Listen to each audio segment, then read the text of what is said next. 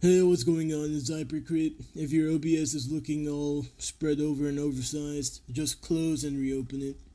Now that you're ready, the easiest solution is to just delete whatever it is you're working on and create a new one.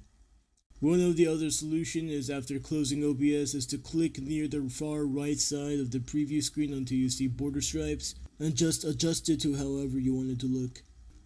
Now, keep in mind if you do delete your capture source, you might see yourself like stretching all over the place.